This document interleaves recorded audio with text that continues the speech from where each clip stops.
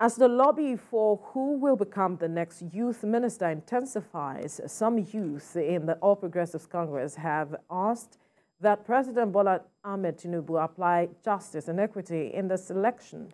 They made the solidarity call at the Unity Fountain in Abuja, advocating for a former presidential aspirant, Nicolas Felix, who contested alongside the president during the party primaries.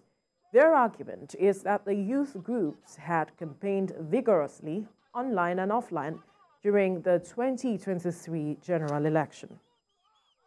Our vision, our mission in Dr. Nicolas, and that is why we have come out here today to appeal to Mr. President to please appoint Dr.